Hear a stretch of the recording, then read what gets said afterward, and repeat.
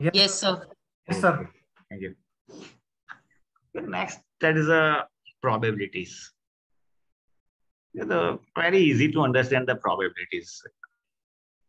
भाई क्या हो सकता है यस और नो या उसके बीच में कई बार बोलते हैं fifty percent probabilities sixty five percent probabilities ninety nine percent probabilities so MC के हिसाब से प्रोबेबिलिटी की वैल्यू जो हो सकती है in range of the zero to one कोई भी प्रोबेबिलिटीज ऐसी नहीं हो सकती that is a more than one one is a maximum number या आप परसेंटेज में बोलते हैं normally that is a zero percent to hundred percent कोई भी प्रोबेबिलिटी माइनस में नहीं हो सकती, या कोई भी प्रोबेबिलिटी हंड्रेड परसेंट से ज़्यादा नहीं हो सकती.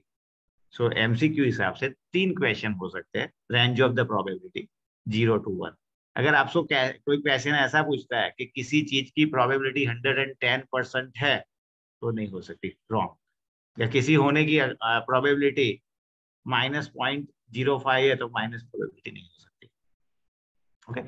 जैसे आप कॉइन टॉस करते हो तो हेड आने की या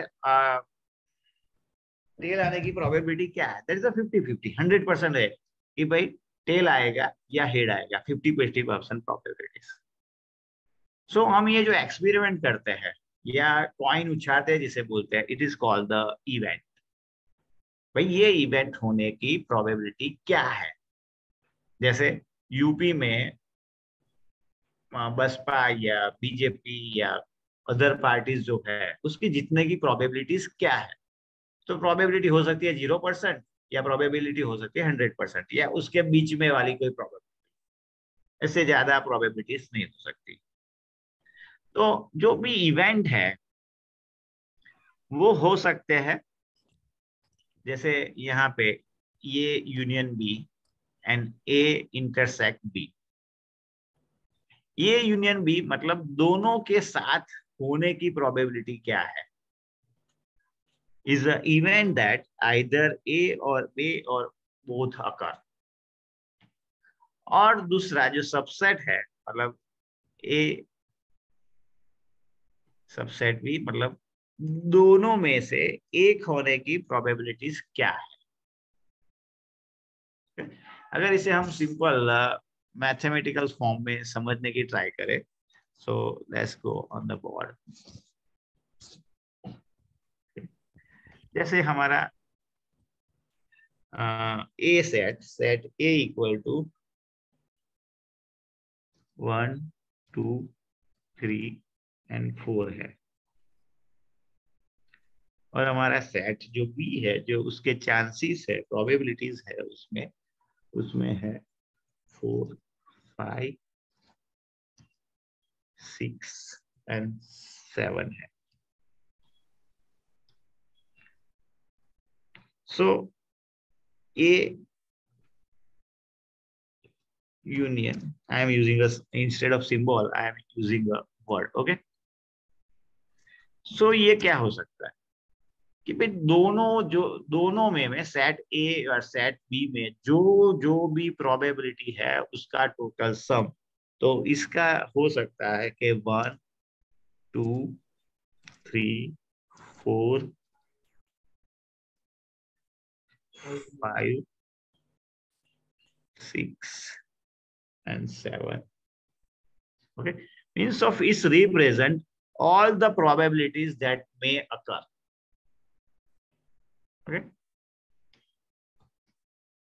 और इसका उल्टा बोले कि what is a occurrence of the maximum possibility maximum possibility किसकी है ओके सो इंटरसेक्ट बी तो इसका जो कॉमन रहेगा फोर फोर फोर उसकी अक्रंस होने की मैक्सिमम पॉसिबिलिटीज है। ओके सो ये दोनों का जो मैथमेटिकल uh, रिप्रेजेंट होता है that is A union B और ए इंटरसेक्ट बी बी मतलब दोनों ए इंटरसेक्ट बी का मतलब होता है कि दोनों में जो कॉमन प्रोबेबिलिटीज है दैट इज़ ये हम यहाँ पे बोल ही सकते कि भाई फोर दोनों में कॉमन है। जैसे हम बोल सकते हैं ये ये ये होगा या दूसरा बोलता है ये ये ये होगा। तो उसमें कॉमन क्या है? That is a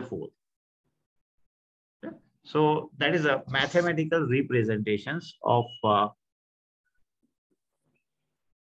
your probabilities so यहाँ पे जो आता है एडिशन रेट में we are not going the इसके न्यूमरिक्स में that is not part of the syllabus so probability A और बी क्या हम बता सकते हैं? Probability of A plus probability of B minus common probability of the A and B means of if event A and B are the mutually exclusive, then rule says to simplify exclusive. मतलब A और B event दोनों से एकदम exclusive है तो इसके बीच में मतलब इसके बीच में कोई भी कॉमन प्रोबेबिलिटीज नहीं है तो प्रोबेबिलिटीज क्या हो सकती है कि प्रोबेबिलिटी ऑफ़ ए मतलब probability A plus probability B दोनों में से कुछ हो सकता है so mutually exclusive event have a no common outcome. मतलब कोई common probability नहीं है that A and B exclusive is a five. मतलब कुछ नहीं हो सकता दोनों इवेंट अलग अलग है, उसमें कुछ कॉमन नहीं है। सो वो, कुछ है। अगर कुछ exhaustive event include the all the basic outcomes so A union B equal to set मतलब सेट के सारे डेटाज की होने की प्रोबेबिलिटीज है।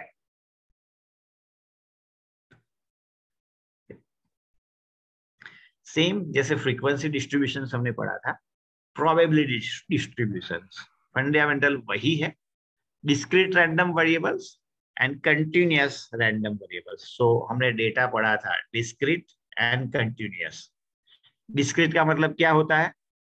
कोई एक वैल्यू कंटिन्यूस का मतलब क्या होता है? कोई एक range okay so random variable which take only countable numbers value which is a listed call the discrete random variables जैसे month in a in which you born so month 12 है so 12 में से कोई भी एक probability होगी जहाँ पे आप born हो गए number of newspapers sold by the Divya Bhaskar in the so Divya Bhaskar so एक स्पेसिफिक नंबर होगा इतने नंबर्स सेल आउट हुए हैं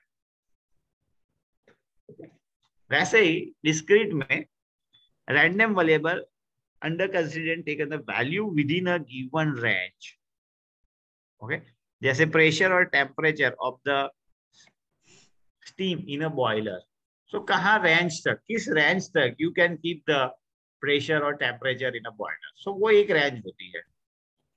यूजेबल रेंज या वर्किंग पॉइंट में भी डिफर कि भाई आप बॉयलर को 80 से 100 प्रेशर तक चला सकते हैं। तो कोई इट इज़ अ सेफ़ यहाँ पे कुछ नहीं होगा। And boiler will work as maximum efficiency जैसे हमारी कार है, कार ड्राइव करते हैं।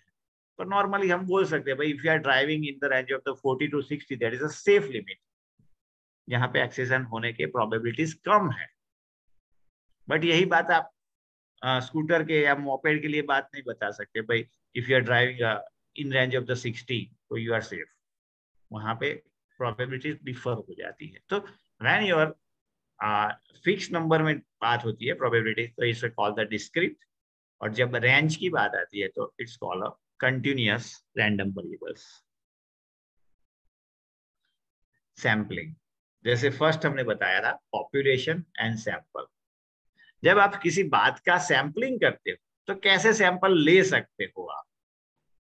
So first thing is a non probability या बायस्ड मतलब you are taking based on the judgement या you are sampling based on the convenience और take an the simple random okay so teacher को बोला गया कि भाई फाइव स्टूडेंट्स को जो फाइव स्टूडेंट्स होशियार बच्चे हैं वो आप रिसीव आता है ये ओके? नाउ टीचर अपना जजमेंट दे देती है। भाई ये सुनील, अनिल और ये तुम पाँच बच्चे अच्छे हो। That is a biased without any doing something या कन्वीनियंस है भाई पहली लाइन पे जो बैठे हैं, वो बच्चे अच्छे होंगे, उसे भेज दो। या वो सिंपली रैंडमली कलेक्ट करती है। तुम तुम तुम तुम, चलो तुम पाँच प्रिंसिपल के पास पे आओ। तुम अच्छे लगते हो मुझे। So there is no any systematic way for the taking a samples so convenience जो इजी वे है, या जजमेंट के बेस पर अपने पर्सनल जजमेंट या simple randomly you are selecting तो simple random selection is a more appropriate compare to the other two judgement and convenience convenience तो एकदम गलती है सो दैट इज़ दूसरी प्रोबेबिलिटीज आप सिलेक्ट कर सकते हो सैंपल सिलेक्शन हो सकता है based on the probabilities that is based on the systematic way scattered way और cluster way okay, so there are descriptions. So, simple random. कि भाई क्लास में बच्चे बैठे हैं, जो फोर्थ लाइन पे है, वो सारे आ जाओ, चलो। आपने सिंपली दस रो थी यहाँ पे। ओके एक, दो, तीन, चार, पाँच। उसमें बोल दिया, भाई फोर्थ लाइन में जो बच्चे हैं, वो सारे आ जाओ। वो सारे अच्छे लगते हो तुम मुझे। सिंपली रैंडमली सिलेक्ट आपने किया। फिर आता है systematic sampling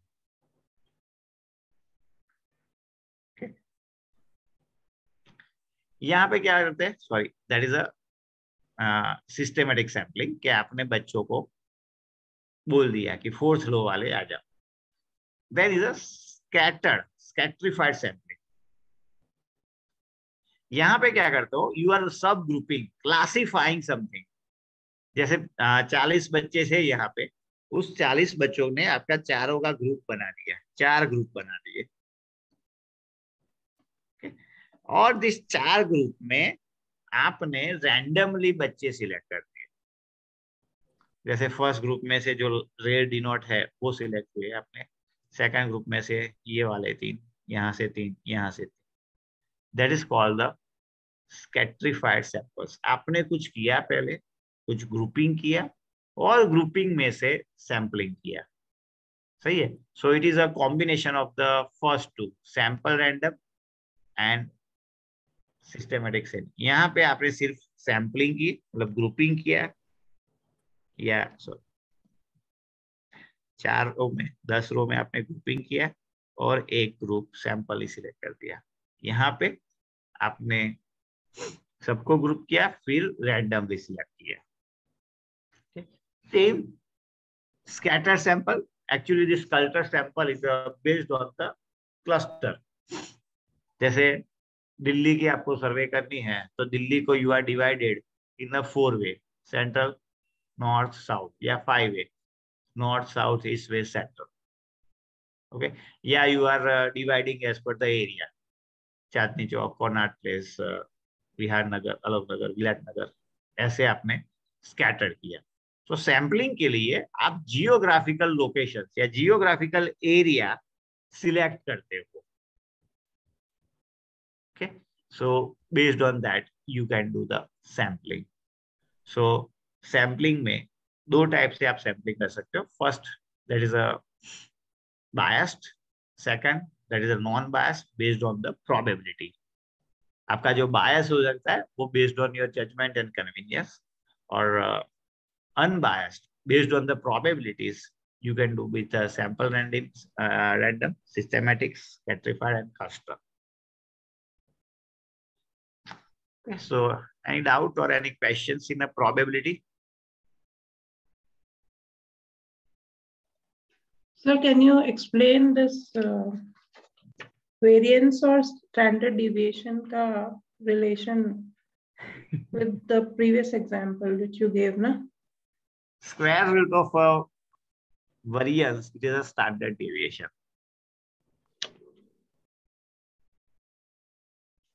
no but if some figures are given simple figures then आपने बोला था ना फॉर जैसे वेरिएंस 9 है तो स्टैंडर्ड डिविएशन क्या बनेगा? हाँ और how do you get that value four point five. Four point five nine होता फोर पॉइंट फाइव होगा।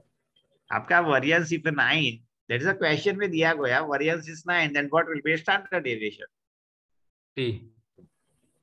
Sorry, three. Three.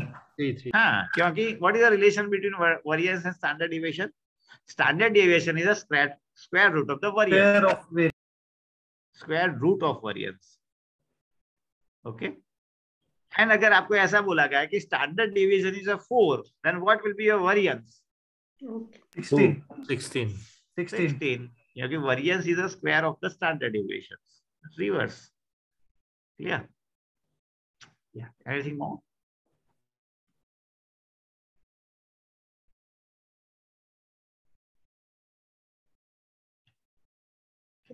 Now last that is the estimations. So ये जो जारी प्रोसेस करते हैं। It is to reach some conclusion सही है? So estimate is a statistic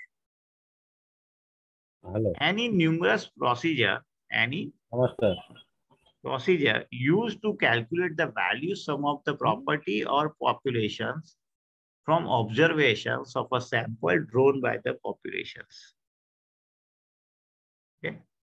Some property, here is a, we are not thinking about the physical property, is a qualitative property, qualitative characteristics. जैसे language known, Gujarati, English, Hindi. Okay, जैसे gender, male and female, literacy level, higher uh, primary, secondary, higher secondary, gra graduate, postgraduate, whatever. So there is a we are thinking about the okay some property. Property का मतलब यहाँ पे है. So हमने जो भी data collect किया based on some properties, based on uh, quality, uh, quantitative उसके बेस पे हमने जो भी रिज़ल्ट दे रहे हैं दैट इज़ एस्टिमेशन अब आपका एस्टिमेशन हो सकता है point estimation that is a simple number one digit okay or you can give your an interval estimations interval estimations means you are giving some estimations in a range okay so a range within which a value of property can be expressed so हमारे valuation report में भी यही चीज़ है कि we are normally giving the point estimation ये property की value सौ रुपया या we can give the our estimation in range ये प्रॉपर्टी की वैल्यू हो सकती है ninety five rupees to hundred and five rupees और whatever the standard deviation you have five standard deviation के आधार पे you can make your estimation so last steps होता है that is your estimation so पूरा ये स्टेटिकल प्रोसेस है तो इसमें सिंपल ये चीज़ है कि आपका डेटा सिलेक्शन या डेटा कलेक्शन जितना अच्छा उतना एस्टिमेशन आपका सही। सही है? फिर डेटा में जितना ज़्यादा डेटा कलेक्ट करो। मतलब if you are collecting the data as a population instead of a sample basic आपका डेट आपका कंक्लूजन इतना सही। अगर आपने पॉपुलेशन के छोड़ दिया और सैंपल बेसिस पे गए तो भी सैंपल बेसिस पे आपका जितना अनबायस प्रोबेबिलिटी बेस पे आपका डेटा कलेक्शन जितना सही, उतना आपका एस्टिमेशन सही। तो जो भी डेटा कलेक्शन कर रहे हो आप या करते हो फॉर द वैल्यूएशन पर्पज उसको आप सभी को स्टेटिस्टिक्स फॉर्म में ला सकते हो। और based on this statistics you can reach at the conclusion and even based on the statistic if you find the standard deviation, you can comment over कि भाई मेरा जो कंक्लूजन है, उसके डेविएशंस मतलब स्टैंडर्ड डेविएशंस क्या है? मेरा कंक्लूजन कितनी रेंज में गलत हो सकता है। सही है but no one is dare in India to do this uh, entire exercise. Okay? एक तो डेटा कलेक्ट कर, कोई करता नहीं है डेटा कलेक्शन ही नहीं होगा तो स्टेटिस्टिक रिलेटेड आगे की जो प्रोसीजर है उसकी प्रोबेबिलिटी ही ज़ीरो हो जाती है so we are looking but जब भी आपके अगेंस्ट में कोई शूट होता है या प्रूव करने की चैलेंज होती है आपके अगेंस्ट सो ये statistic data can help you अगर स्टेटिस्टिक डेटा पे काम किया है तो जितने भी चैलेंज आ जाए उस चैलेंज आप ओवरकम हो सकते हो। और ये टाइम भी थोड़ा अभी बदल रहा है। ओके सो so, आपका वक्त मतलब आपका जो भी कंक्लूजन है आपका जो भी रिपोर्ट है must be based on your data collection इस स्टेटिस्टिक वर्क आपने अपने सिक्स सेंस से यूज़ करते हुए बोल दिया कि ये वैल्यू ये है तो चलेगा नहीं। क्योंकि it is day by day ये चीज़ बढ़ रही है कि आपको कोई पूछ रहा है कि क्यों भाई आपने जो सौ रुपए दिए वो क्यों सौ रुपये वैल्यू है? आपको क्यों ऐसा नहीं लग रहा है कि आप अंडर वैल्यूएशन या ओवर वैल्यूएशन नहीं हो? सो so, प्रोफेशन के लिए अब इम्पोर्टेंट पार्ट हो रही है। अब अब तक जो काम हो रहा था, वो टेक्निकल बेस पे हो रहा था। और फ्यूचर में जो काम होगा it is a based on the legal technical and economical सही है? तो you have to prepare yourself to serve your services with technical legal and economic aspect को कंसिडर करते हुए you have to reach the conclusion. Okay. So यहाँ तक जो सारा था that is uh, about uh, कैसे आप डेटा कलेक्शन करके कंक्लूजन तक रीच कर सकते हो। Okay okay? हमारे सिलेबस में थोड़ा कम है but we are not going the इसके सारे न्यूमरिक्स भी है but not of the syllabus syllabus में सिर्फ़ थियरी है so that we are doing okay अब ये जो है simplest test of significance so a test of significance is a formal procedure for comparing the observed data with the claim the truthness which is expressed so जितने भी observe data है उसके against में जो आप बोल रहे हो it is a test of the significance कहा तक सही हो या कहाँ तक गलत हो या क्या चीज़ है?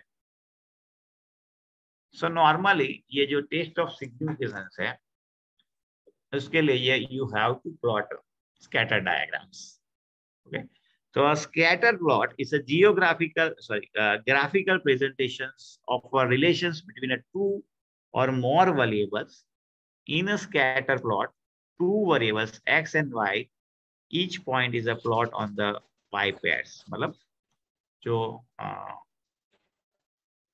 graphical representation if we are uh, plotting a scatter graph even if uh, you are working with the excel so using this uh, scatter graph you can point out the uh, relations between the x and y so uh, based on that you can जज the value के एक जो आपने कंक्लूजन दिया है claim है उसके अगेंस्ट में दूसरे कंपेरिजन क्या बोल रहे हैं another thing that again it is related to the statistics that is a regression and correlationship regression and correlationship what do you mean by the regressions so describe and prediction of the one quantity variable from the another जैसे simple बताए कि भाई, बारिश होगी तो रास्ते गिले होंगे। Okay that is a regression so in a regression is describe how dependent variable change with respect to the independent variable Simple. Another example. If you are eating a healthy food, your health will remain a stable or you will remain a health. If you are eating a vegetable fruits and mineral rich and vitamin rich foods, you will remain healthy. But it is just a show a relationship. It do not show the quantity. Numbers so regression में आपको एक relationship पता चल सकता है कि भाई neutral है पॉजिटिव है या नेगेटिव है। जैसे अर्ली मॉर्निंग एक्सरसाइज करोगे तो आप हेल्दी रहोगे। That is a positive relationship आप देर से उठोगे तो you will destroy your health वो रिलेशनशिप बताता है बट नेगेटिव रिलेशनशिप कि आप देर देर तक सोओगे तो आपका हेल्थ बिगड़ेगा। आप दूध पियोगे तो you will grow more faster बच्चों के लिए। So there is a relationship positive relationship clear but अब समझिए कितना ये वैल्यू नहीं देती कि भाई एक लीटर पीऊँगा, दो लीटर पीऊँगा, तीन लीटर पीऊँगा या पाँच लीटर पीऊँगा। और क्या सबकी रिलेशनशिप सेम ही होगी हेल्दी ये कुछ नहीं बताता ऐसा नहीं है कि भाई आपने दिन में दस लीटर दूध पिए गए तो you will remain lot of healthy ऐसा नहीं है। सही है? तो यहाँ पे नंबर्स नहीं बताते बट पॉजिटिवनेस बताते या नेगेटिवनेस बताते या न्यूट्रल बताते हैं, भाई क्या होगा? जबकि जो को रिलेशनशिप है सॉरी को रिलेशन है, ये आपको नंबर्स भी बताते हैं और डायरेक्शंस भी बताते हैं।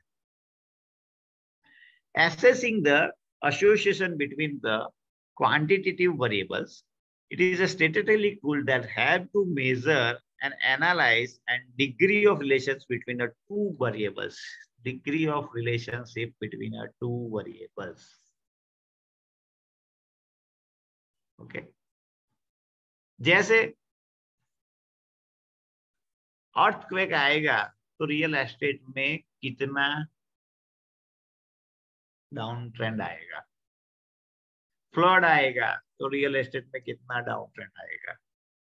गवर्नमेंट ने हाउसिंग फॉर ऑल अनाउंस किया है तो इसका रियल इफ़ेक्ट पे कितना इफ़ेक्ट आएगा? सही है। So gov housing for all government ने पॉलिसी डिसाइड किया है। सो so, इसका पॉजिटिव इम्पैक्ट आएगा। और कितना आएगा? तो ten percent fifty percent thirty percent that we are doing भाई क्रूड ऑयल बढ़ेगा। क्रूड ऑयल सिक्सटी से सेवेंटी होगा। तो इंडिया में इन्फ्लेशन का क्या इफ़ेक्ट होगा? तो वो रिलेशनशिप है। भाई जैसे जैसे क्रूड ऑयल बढ़ता है तो इन्फ्लेशन बढ़ता है। बट अगर क्रूड ऑयल 60 टू 70 होगा मतलब crude oil in range of the 15 percent बढ़ा तो हमारा इन्फ्लेशन 5 परसेंट बढ़ेगा। दैट इज़ अ को और आपके वैल्यूएशन में भी ऐसे बहुत सारे को रिलेशन होते हैं। जैसे इकोनॉमिक में हमने पढ़े। Test and preference of the people income level of the people size of population demand and supply अगर डिमांड वही हमने इलास्टिसिटी में यही पढ़ा था को रिलेशन सही है? कि भाई प्राइस फाइव परसेंट इंक्रीज हो गई तो डिमांड ट्वेंटी परसेंट डिक्रीज हो गई. देर इज़ अ को रिलेशनशिप ओके सो यहाँ पे आपको डायरेक्शन नेगेटिव पॉजिटिव और उसकी वैल्यू भी मिलेगी इन अ को रिलेशनशिप सेम नेगेटिव कोरिलेशन और यहाँ पे उसकी वैल्यू याद रखे कोरिलेशनशिप वैल्यू होती है minus one to plus one okay यानी minus hundred percent to the positive hundred percent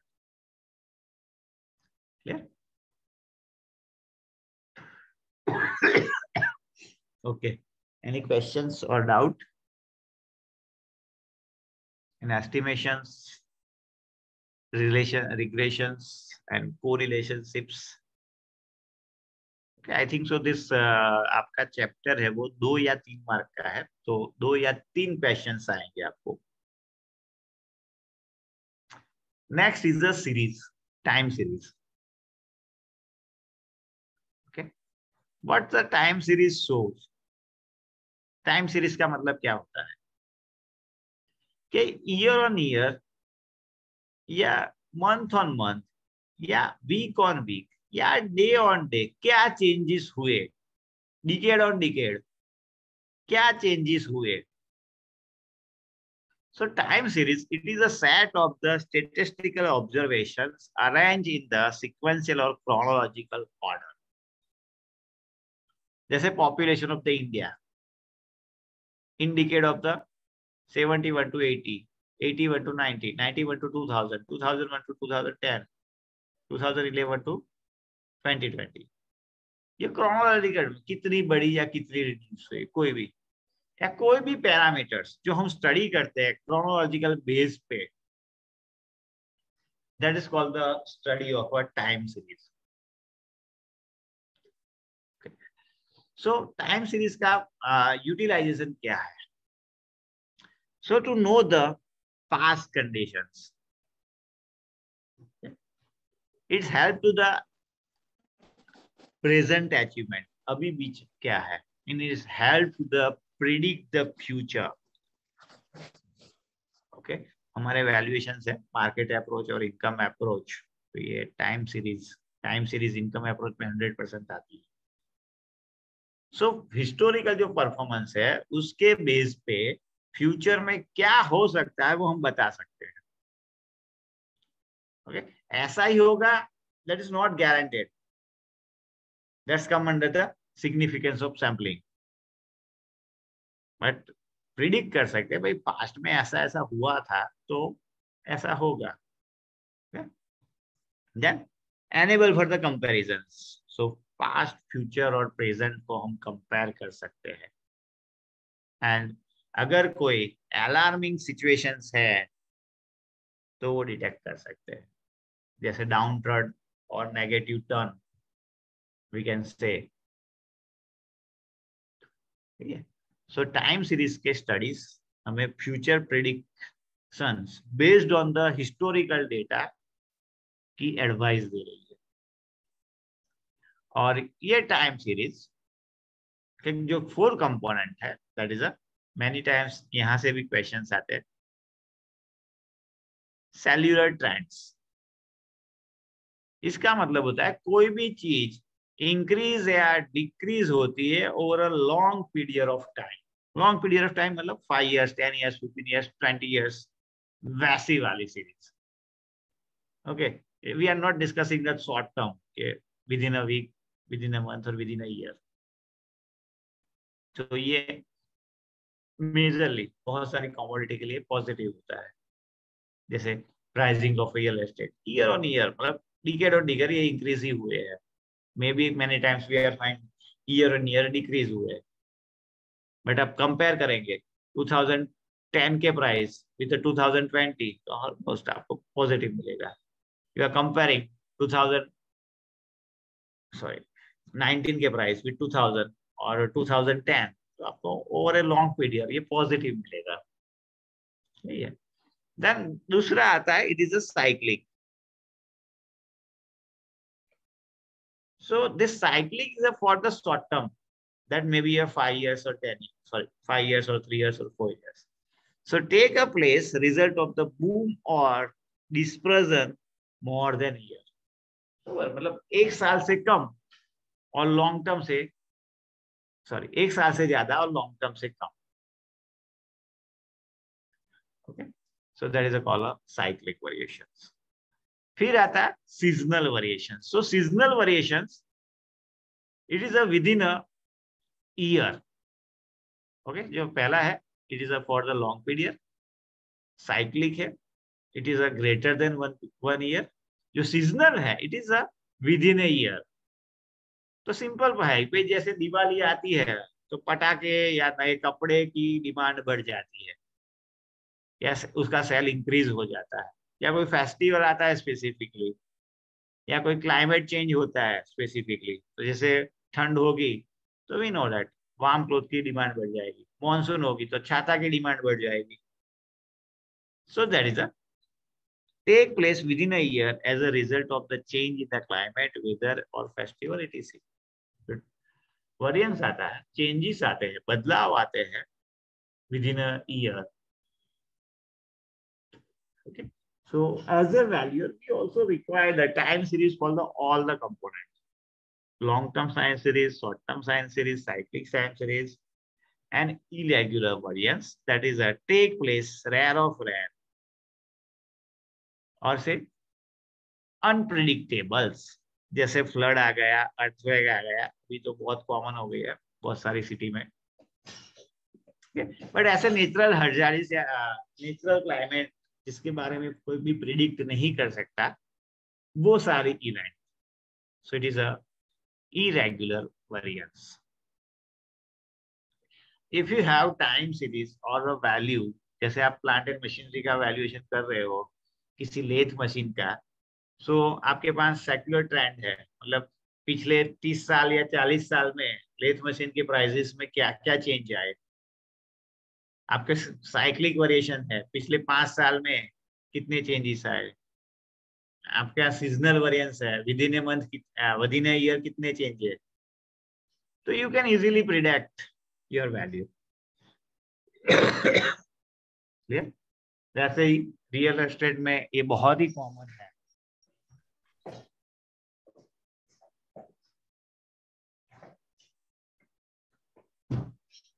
to develop time series और टाइम सीरीज़ के बेसिस पे to take the decision so time series measure करने के लिए आपके पास मेथड है that is a graphic method semi average method moving method and method of least we are not going again this methodology because not part of this list third है। जो normally हम अपनी एज ए वैल्यूएशन प्रैक्टिस में भी use करते हैं। That is a index number so India में बहुत सारे इंडेक्स नंबर्स अवेलेबल है। तो for the index number you have to choose one particular items और specific index to relative your subject asset जिसका आप वैल्यूएशन कर रहे हो। So what is the index number?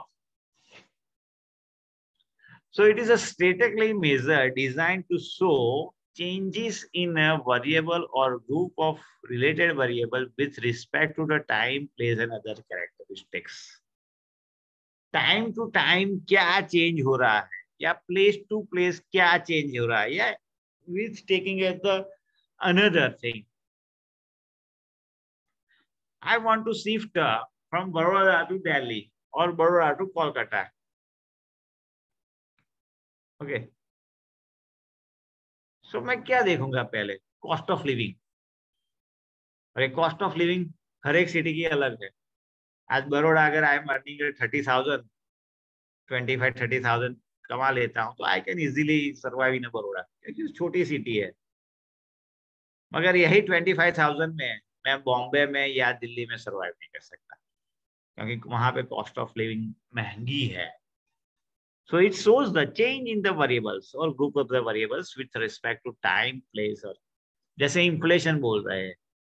बहुत बार हम न्यूज़पेपर में पढ़ रहे पढ़ रहे भाई इन्फ्लेशन बढ़ रहा है इन्फ्लेशन हो रहा है। इसका मतलब क्या?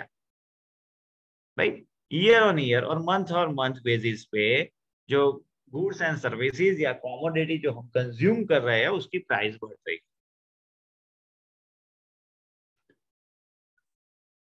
सही है? तो index number source for the particular for our profession में वी आर लुकिंग जैसे रियल एस्टेट है, उनके लिए कॉस्ट ऑफ़ कंस्ट्रक्शन का इंडेक्स सही है? या फिर जो भी particular C W P index that are publish specific to the city और स्टेट वो इंडेक्स चाहिए। How they are preparing this index plant and machinery के वैल्यूअर के लिए we are looking W P I index wholesale price index या we are looking consumer price index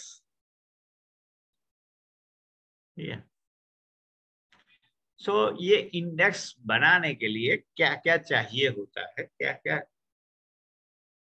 तो भाई simply आप इंडेक्स क्यों बना रहे हो?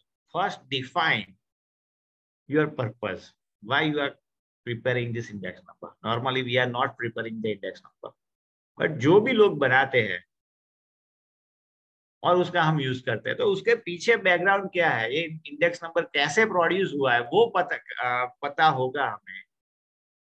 तो वी कैन जज भाई जो हम कर रहे हैं वो सही कर रहे हैं या whatever the index number we have choose that is a right index और नॉट कि भाई उसे क्यों बनाया गया okay so cost of construction का इंडेक्स नंबर है उसको आप लैंड पे नहीं अप्लाई कर सकते। या कॉस्ट ऑफ़ कंस्ट्रक्शन मुंबई का जो इंडेक्स नंबर है, उसे आप दिल्ली में अप्लाई नहीं कर सकते। क्योंकि उसकी दोनों की वैल्यू डिफर होगी then selection of the base period किस साल से ये इंडेक्स नंबर बना है? देखिए, अगर मैं बोलू 2011 से 2020 तक प्राइस टू टाइम्स हो गई है। बरोबर तो कोई भी समझिए सही। अब इंडेक्स नंबर में मेरा जो नंबर है, वो कंपैरिजन जो 2011 था, वो रिड्यूस करके 2015 लेता। तब पेट्रोल में अब इन्फ्लेमेशन मेरा पहले जो 100 टाइम इन्फ्लेशन हुआ था टू टाइम्स हो गया था। अब मुझे इन्फ्लेशन दिखेगा ओनली 1.5 टाइम्स क्यों? प्राइजेस तो वही है बट जो इन्फ्लेशन मेजर करने का मेरा बेस ईयर था, वो चेंज हो गया। Then selection of the items भाई, ये इंडेक्स नंबर जो बना है, उसमें क्या क्या कवर्ड है क्या क्या नहीं covered okay then price quotation from where you are getting the relevant price कहाँ कहाँ से जिस इंडेक्स बनाने के लिए आपने जो प्राइस मिली है, वो कहाँ कहाँ से मिली है? Okay then choice of average जैसे हमने बताया मीन मोड एंड मीडियन उसमें से क्या लिया है आपने to prepare the index mean लिया है मोड लिया है, या मीडियन लिया है? You have take the simple average और वेटेड एवरेज मीन जैसे आपकी चॉइस चेंज होगी, आपके नंबर या रिज़ल्ट चेंज हो जाएँगे. Then selection of the weightage जैसे आप कंस्ट्रक्शन इंडेक्स बना रहे हो, उसमें स्टील का वेटेज रखते हो आप फोर्टी परसेंट सीमेंट का वेटेज रखते हो ट्वेंटी परसेंट अगर ये वेटेज चेंज करोगे, भाई नहीं यार स्टील का वेटेज फोर्टी परसेंट नहीं थर्टी परसेंट करता हूँ, और सीमेंट का वेटेज ट्वेंटी परसेंट नहीं ट्वेंटी फाइव परसेंट करता हूँ। अगर आप ये वेटेज भी चेंज करोगे तो आपका इंडेक्स नंबर जो रिज़ल्ट है, वो चेंज हो जाएगा। Next and last is selection of the formula index number बनाने के लिए भी चार पाँच फॉर्मूलास है। वो फॉर्मूला से आप कौन सी फॉर्मूला चूज़ करते हो? सही है? तो जब भी आप इंडेक्स नंबर यूज़ करते हो तो what is the basic about the index number आपको पता होना चाहिए। So you can go in a right way so index number का क्या होता है कि current year price divided by base year price into the hundred so, that give you the price variance. Okay by you have number के 2015 में petrol का price fifty rupees था. और आज में क्या वेरिएंस आया? है index number you have so index number of the current year divided by index number of the base year into 100 you will get the number कि भाई कितना चेंज आया so price of current year 100 rupees price of base year 15 में 60 rupees थी so 100 divided by 60 into 100 so you will get 1.33 times या 133 you get the relative price इसका मतलब भाई जो प्राइस में बढ़ोतरी हुई है it is a 33 percent over a time period हाँ बोलिए। सर ये जो बेस ईयर है वो कैसे डिसाइड करेंगे सर वो हम नहीं करेंगे पहले तो। कहाँ से मिलेगा फिर ये सर हाँ तो रिलेटिव जो भी इंडेक्स नंबर आप जहाँ से भी कलेक्ट करते हो वहाँ से जैसे आपका होलसेल प्राइस इंडेक्स नंबर आपने लिया आरबीआई की या इन, क्या बोलेंगे इकोनॉमिक एडवाइजर की वेबसाइट से आप गए और वहाँ से आपने डेटा डाउनलोड किया। तो अभी का जो डेटा अवेलेबल है that is a based year on the 2011 का बेस ईयर पे है। कि भाई 100 इक्वल टू 2011 टेन जो प्राइसिंग जिसकी प्राइस हंड्रेड रुपीज़ थी in eleven of the twelve eleven twelve उसकी प्राइस आज बढ़ के क्या हो है ओके okay. अगर आज का ट्वेंटी टू का डेटा है टू थर्टी इसका मतलब क्या हुआ? जो बेस ईयर है हमारा 2011-12 उसके कंपेयर में आज प्राइस हो गई है 2.3 टाइम्स सही है? सो so, ये इंडेक्स नंबर का बेस ईयर क्या है? दैट यू हैव चेक और हर एक इंडेक्स का बेस ईयर अलग है। जहाँ से भी आप इंडेक्स नंबर लेते हो वो इंडेक्स नंबर आपको देखना पड़ेगा, किस बेस पे बना है। जैसे पीडब्ल्यू के बहुत सारे इंडेक्स नंबर है that is based on the 2010 and many index number is still based on the 2001 thousand one so that is so जो डिफरेंट फॉर्मूलाज है that is Laspeyres method okay we are again not interested in the methodology but India में जो major index बनते हैं there is using the Laspeyres method then Pascal methods and Fisher ideal methods formula अगर कोई formula भी आपने Laspeyres की जगह प्लासलास पास्कल्स मैथड चूज़ कर ली तो आपका नंबर अलग आएगा। या uh, फिजर की आइडियल मैथड चूज़ कर ली, उसका भी नंबर अलग आएगा।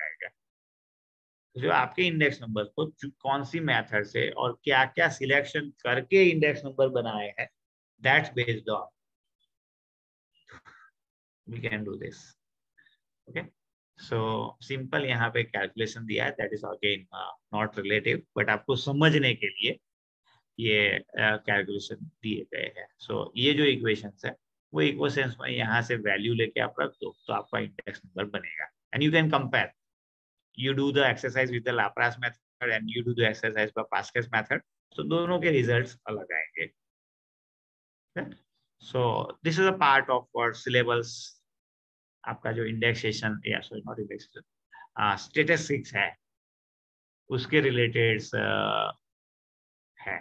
Okay so if you have any query और any question so we can discuss देखिए ये स्टेटिस्टिक्स कंपैरेटिवली मतलब मेरे को लगता है कि इकोनॉमिक्स नॉट इकोनॉमिक्स क्या पढ़ा था? अकाउंटिंग से अच्छा है कि पहले पढ़ ले। सही है? क्योंकि अकाउंट समझ में थोड़ी शायद देर लग सकती है। Then also it is depend on the personal strength but मेरे को स्टेटिस्टिक बहुत जल्दी समझ में आ गया था when I am preparing for the examination rather than account so I suggest to you कि भाई ये स्टेटिस्टिक्स एक बार आप अच्छी तरह से जल्दी से प्रिपेयर कर लीजिए। क्योंकि बहुत सारा न्यूमरिकल बेस है। ओके सो समझ में भी कंपेरेटिवली जल्दी आ जाएँगे। एक दो पॉइंट छोड़ के इसके सर इसके कोई न्यूमेरिकल्स आप कराना चाहें तो करवाएँ। मैं बताता हूँ। आई विल गेट विल आपको सफिशिएंट टाइम मिलेगा। ओके सो ये लिटिल बिट बहुत सारा पोर्शन इसका है जो न्यूमरिक बेस पे है। और ऐसा भी है कि बहुत कुछ हमने इंजीनियरिंग में भी किया हो जा सकता है। सही है तो आई प्रीफर कि अकाउंटेंसी के पहले आप go through this statistics okay book keeping के तीन मार्क है और स्टेटिस्टिक के दो मार्क्स है सो so, दो क्वेश्चंस आएँगे as per the new syllabus हाँ बोलिए आप क्या क्वेश्चन था? सर सीपी डब्ल्यू रेट हमारे उड़ीसा में एप्लीकेबल है या नहीं? सॉरी सीपीडब्ल्यू रेट जो हेलो हाँ सुन रहा हूँ। सीपीडब्ल्यू रेट हाँ सीपीडब्ल्यू रेट जो लिखा हुआ है हमें उड़ीसा में एप्लीकेबल होता है या नहीं होता है? CPWD rate of the Bhubaneswar Orissa में एप्लीकेबल है। But that for you to find the CPWD rate of the Bhubaneswar Delhi के सी डब्ल्यू डेट और या ऑन ऑल ओवर इंडिया के CW date it is not a desirable sir income tax में जो sir income tax में जो जो index देता है उसको तो हम यूज़ कर सकते हैं ना? सॉरी इनकम टैक्स में जो इन्फ्लेशन इंडेक्स देता है उसको तो हम यूज़ कर सकते हैं ना? हाँ बट आप वहाँ पे भी उनके रेट्स है। देखिए मैं बोला कि type and purpose of the index number in income tax के लिए आप इन्फ्लेशन दे रहे हो तो स्टैम्प ड्यूटी कलेक्शन रेट वाले भी अपने कॉस्ट ऑफ़ कंस्ट्रक्शन के रेट देते हैं। सी डब्ल्यू वाले भी अपने कॉस्ट ऑफ़ इन्फ्लेशन या कॉस्ट ऑफ़ कंस्ट्रक्शन के रेट देते हैं। एंड इवन इनकम टैक्स का इन्फ्लेशन रेट भी होता है।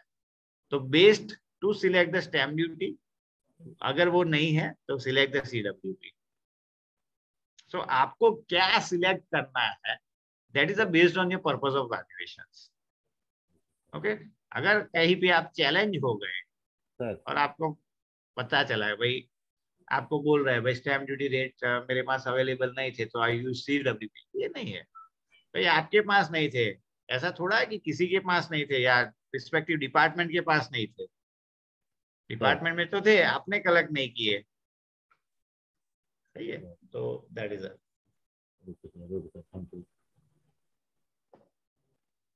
लास्ट के जो थ्री मेथड्स है वो उनके वो कुछ डिटेल में आएँगे क्या? जो नंबर कैलकुलेट करने जो कुछ भी आपका न्यूमरिक्स में नहीं आता that is for the your information only. That's why we are not go to the study also. सही है?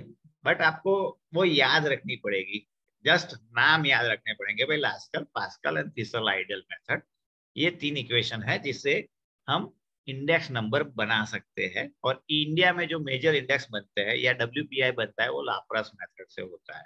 सो so, ये चीज़ आपको याद रखनी पड़ेगी भाई इंडिया के जो मेजर इंडेक्सेस बनते हैं वो लाप्रास मेथड से बनते हैं। शायद आपके एमसीक्यू में आ सकता है।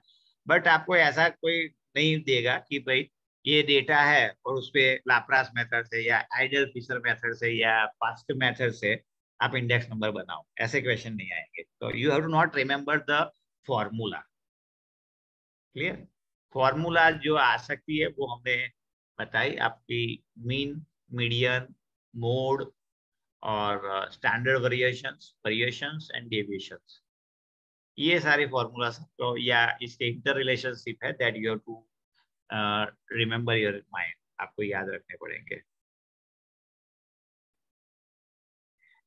या.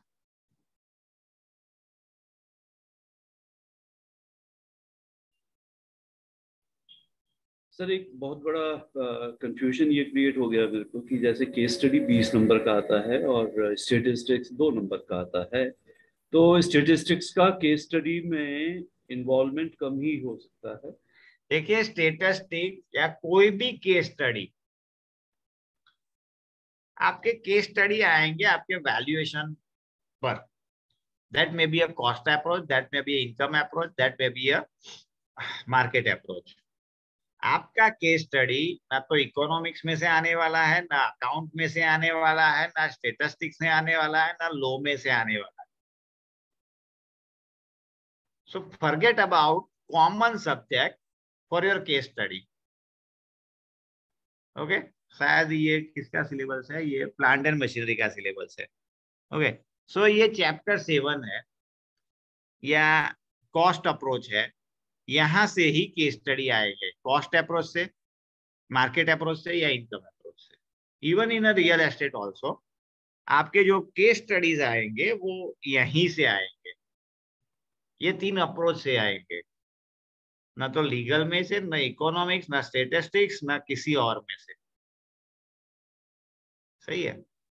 सो so, ये सारे ट्वेंटी मार्क्स जो है जमेला वो वैल्यूएशन के रिलेटेड है। सही है तो आई थिंक सो अभी तक आपका वो पोर्शन स्टार्ट नहीं हुआ। आ, आपके कॉमन सब्जेक्ट ही स्टार्ट अभी चल रहे हैं। So once you go to that subject वहाँ पे भी आपको फर्दर क्लियरिटीज आ जाएगी। आई थिंक सो आज आप और पढ़ने वाले हो. दैट इज़ एथिक्स और जो चार मार्क का है और रिपोर्ट राइटिंग या ऐसा कुछ है. I don't know exactly but वो चीज़. तो आपके ट्वेंटी मार्क्स के लिए नॉट वरी फॉर एनीथिंग ये सारे सब्जेक्ट आपके प्लस लाने के लिए ही है. आपका जो हार्ड ड्राइव होना चाहिए वो आपके वैल्यूएशन रिलेटेड ओके सो ये जो प्लांट एंड मशीनरी है उसमें से चैप्टर नंबर सेवन के बाद की आपको खूब पढ़ाई करनी है ओके okay. और uh, क्या करना है ये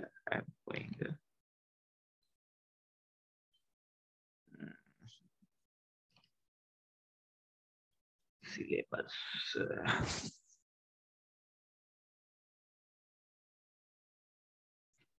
I think so visible ये लैंड बिल्डिंग का सिलेबस है।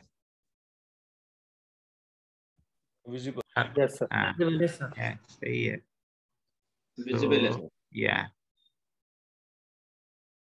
सेवन एट हाँ, आठ नंबर से।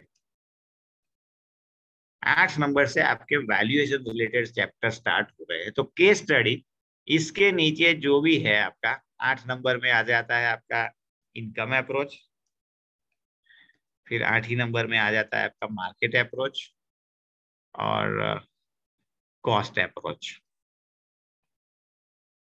ये तीनों अप्रोच में से ही आपका जो लास्ट केस स्टडी है ट्वेंटी मार्क का, वो आएगा। इसके अलावा किसी भी चैप्टर में से आपका केस स्टडी नहीं आने वाला, जो वैल्यूएशन रिलेटेड है। ओके तो ट्राई टू प्रिपेयर ये रियल एस्टेट के लिए जो ये आठ नंबर सीरियल नंबर है उससे आगे वाले जो भी टॉपिक्स है एट नाइन टेन वही प्रिपेयर कीजिए। या एट एक ही टॉपिक में आपका सब कुछ कवर हो जाता है एट एंड नाइन तो एट एंड नाइन में से ही आपका सारा केस स्टडीज़ आने वाला सो so, इसको इतना आ, क्या बोलेंगे? Not a give that much weightage to the statistics accounting and economics हाँ बट पढ़िए। इकोनॉमिक्स का जो सात मार्क है, वो सात सात मार्क में से अगर आपके तीन चार मार्क आ जाते हैं तो it will be helpful to you okay जैसे आज स्टेटिस्टिक पढ़े, दो मार्क है। अगर दो मार्क में से एक मार्क भी आ जाता है तो विल बी मतलब कॉमन सब्जेक्ट के जो थर्टी फाइव मार्क्स है, उसमें से आप पंद्रह, सोलह सत्रह भी ले आते हो।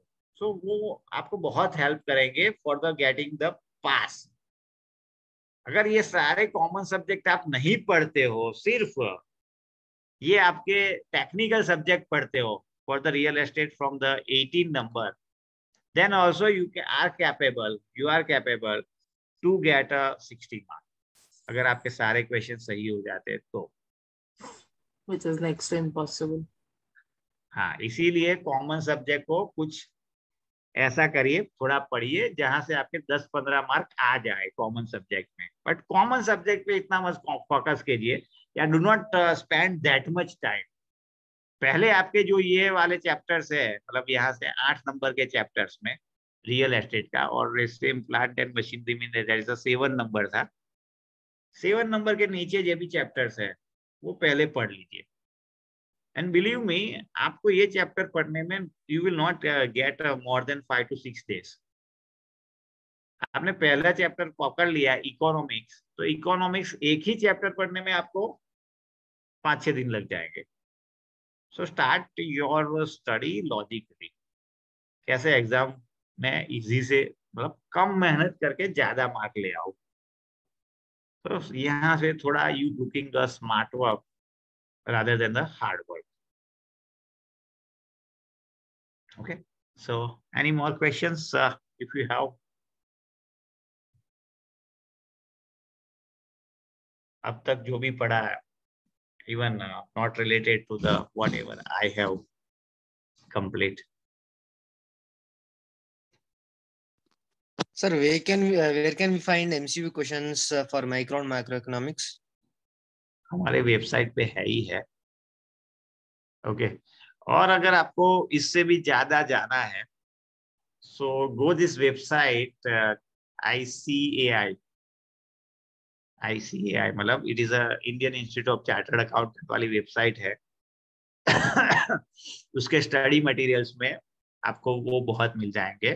अगेन मैं बोलता हूँ कि भाई आपका जो हार्ड स्टडी है वो आपके टेक्निकल चैप्टर्स में ज़्यादा रहना चाहिए compare to the common subject क्योंकि आप इकोनॉमिक्स में इतना घूम जाओगे सरदर्द होने लगेगा कि you can not concentrate totally जहाँ से आपको अच्छे मार्क मिलने वाले हैं और जो आपको डे टू डे लाइफ में भी यूजफुल होने वाला है, वो सब्जेक्ट आप भूल जाओगे स्टडी करना या you will allot a small time compare to the this सही है तो अभी तो पढ़िए आप बट अपनी पर्सनल स्ट्रेंथ लेकर स्टडी कीजिए। जैसे मुझे पता है, मुझे स्टेटिस्टिक्स मैंने सबसे पहले स्टडी किया था स्टेटिस्टिक्स क्योंकि न्यूमरिकल्स मुझे अच्छी तरह से समझ में आ गए। Then I have studied the environment जो मेरे को समझ में आ गया था। मैंने इकोनॉमिक्स में बहुत कम प्रिपरेशन की थी। पर मुझे पता था भाई, ये इकोनॉमिक्स हमारे टाइम पे दस मार्क का था बट ये दस में से अगर मुझे तीन चार मार्क भी आ जाएँगे तो मैं पास हो जाने वाला हूँ। क्लियर पर मेरा जो हार्ड स्टडी था, मेरे कोर सब्जेक्ट में था, जो मेरा डे टू डे लाइफ में भी मैं यूज़ करता था मतलब प्रैक्टिस में भी यही चीज़ होता है। आप पढ़ेंगे तो आपको पता चलेगा कि कॉस्ट अप्रोच मार्केट अप्रोच और income approach it is essential of the value वो तो पता ही होना ही चाहिए। क्लियर अगर वो क्लियर है तो कोई दिक्कत नहीं है। और पास होने में भी कोई दिक्कत नहीं होगी। इकोनॉमिक्स और जनरल लॉ में इतना टाइम मत स्पेंड करिएगा, क्योंकि वो बहुत लेंथी है। जैसे आप ये पढ़ने जाओगे इकोनॉमिक्स तो उसका 90 या 80 पेज है स्टडी मटेरियल में। जनरल लॉ में भी आपके 90 या 80 पेज का स्टडी मटेरियल है मतलब 200 पेजेस का। जबकि आपका वैल्यूएशन का टोटल स्टडी मटेरियल है तो 60 या 70 पेजेस का ओनली सो एक चैप्टर के अगेंस्ट में आपके चार चैप्टर स्टडी हो जाते हैं which has a higher weightage और हायर मार्क सही है? तो आपको कुछ भी चाहिए तो we are in the group सभी हेल्प हो जाएगी। इवन हमारी वेबसाइट्स पे भी सारे एमसीक्यूज और बहुत सारा स्टडी मटेरियल भी रखा है। But first the study which is a requirement for the crack the exam बाद में आपको जो भी पढ़ना है, इसके आगे रिलेटेड देखिए फिफ्टी आवर्स में ये स्टेटिस्टिक पढ़ाने के लिए I can spend the one और two days but it is not possible क्योंकि डिज़ाइन ऐसे किया है कि भाई फिफ्टी आवर्स में सब कुछ पढ़ा देना है। Even we are taking instead of fifty हमारे फिफ्टी फाइव या सिक्सटी आवर्स कई बार हो जाते हैं। बट पूरा नहीं पढ़ा सकते that is a fact but आप हमें क्वेश्चन राइज करेंगे तो will answer to you exam related और जो study material that is also available on the website बहुत सारे स्टडी मटेरियल अवेलेबल कोई भी स्टडी मटेरियल लेके आप पढ़ सकते हो। First prepare yourself for the crack the exam okay बाद में कुछ टाइम मिलता है तो study for your gain the knowledge और एक्सपर्टिस इन अ प्रोफेशन मैं ऐसा नहीं बोलता हूँ कि आपका रीडिंग रुक जाना चाहिए, या do the limited reading but exam crack करने के लिए आपको स्मार्ट वर्क करना पड़ेगा आपको पहचानना पड़ेगा कॉमन सब्जेक्ट में मैं क्या पढ़ू तो मुझे जल्दी से प्रिपेयर हो जाएगा सही है ये हर एक की अपनी पर्सनल स्ट्रेंथ होती है सो so, उस बेस पे आपको सिलेक्शंस करना पड़ेगा Yeah. Any more?